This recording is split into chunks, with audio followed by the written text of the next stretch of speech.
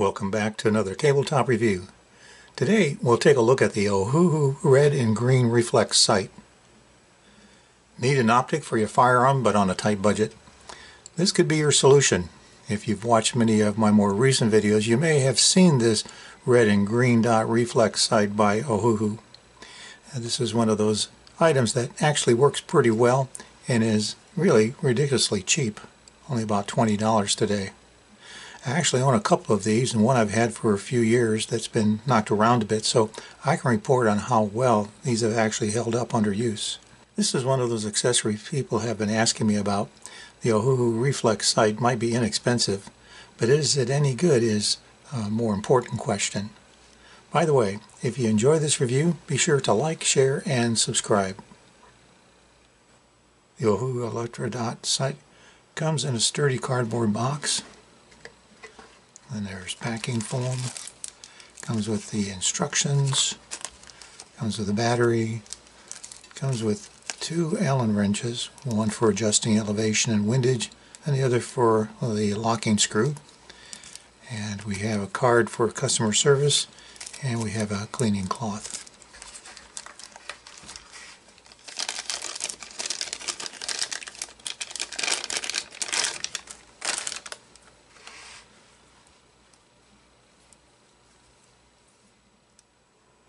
This is an open design reflex dot sight with four reticles or patterns available in red and green. Uh, the lens is 33 millimeters. The eye relief is unlimited. Five different intensities or brightnesses can be dialed in here for patterns. Uh, there are Allen screw adjustments on the top here for elevation and on the side here for windage. You need to unlock the adjustment over here uh, before trying to make changes. Each click of the adjustment should equal uh, about an inch in 100 yards. The unit is said to be waterproof and shockproof and at 4 ounces it's quite light. Power consumption is relatively low so battery life should be pretty good. The built-in mounting system is for standard bases. The system should stay zeroed in once set even if removed from the firearm and reinstalled.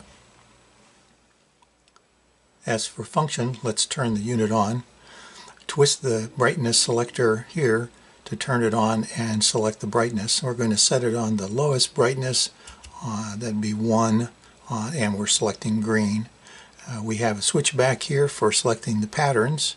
We have a dot, uh, circled dot, crosshairs uh, with a dot, and finally a circle crosshairs with a dot. Now let's see if we can take a look at the different patterns projected onto the screen with this camera. Probably it's not going to work from what I can see in the internet uh, reviews. Uh, cameras don't do the, uh, the patterns justice, but we'll give it a shot here. So there's the, the last setting here, circle with crosshairs. And I'll flip through them. There's the dot. So as you can see the camera is really not picking it up very well but there's the green dot and we can do a quick switch here to the red dot.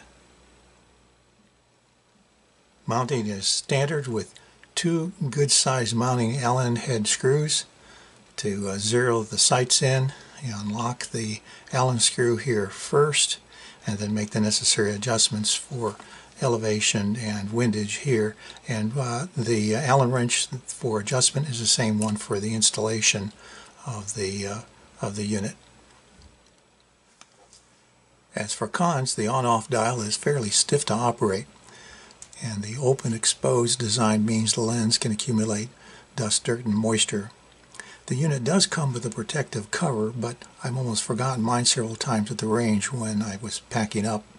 To be honest, they say that these are waterproof and shockproof, but I'd suggest not pushing it. Under normal use, probably, they're pretty good. But I've seen reviews where they fail to hold zero after you hit them hard enough to bend the aluminum frame. So be realistic about your $20 optic. Also, although battery life has been pretty good, for example, I've forgotten to turn off uh, a unit after a range visit to the next day and the battery wasn't drained, but it would be nice if an auto power off after an hour or so was built into the unit. That would have been nice. As for pros, I like the variety of patterns provided in both red and green. Within reason, this unit is waterproof and shockproof. I've had this unit on and off of firearms many times and indeed it has stayed zeroed in pretty well. The unit that I've had for several years has actually held up quite well. I've got no complaints. The open design means I can keep both eyes open and have a clear picture of my target and surroundings. Much better than my old red dot tunnel view unit. And it's hard to beat the price for what you get. Now if you look around, there are similar inexpensive reflex lens optics out there. Amazon has a bunch that actually look quite similar to the Ohuhu for less than $30. Since I like to stick with what's worked well, when I decided to get another sight, I went back to the Ohuhu again, and I haven't been disappointed. But it's probably a good idea to check out what's out there, because things change and sometimes even better could be available. Now, the manufacturer suggested retail price for the Ohuhu Electro Dot sight is actually $29.99, but the more common sale prices have been around $21, with special sales as little as $11, if you can believe that. So look around. Amazon currently offers the Ohuhu for $21. Now, before we end today's video, I'd like to remind you that if you haven't already, be sure to like, share, and subscribe down below. And thanks for watching, and I hope you found this video to be helpful. Well, in conclusion, you know I've had one of these units for several years and it's had a lot of use. Battery life has been good, even though I've forgotten to turn it off several times. I really like the patterns available. The lens has gotten a bit dirty a couple of times during use, but cleaned up very nicely. I've taken the unit off of a gun and later returned it to the same gun and it stayed zeroed in very nicely.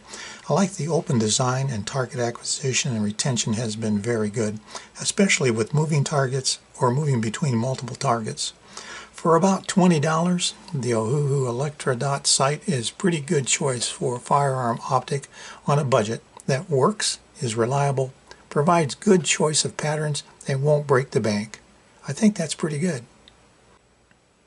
Any weapon you carry is better than one you left at home. Thanks for watching. Hope you'll be back for my next tabletop review. Until next time, stay safe.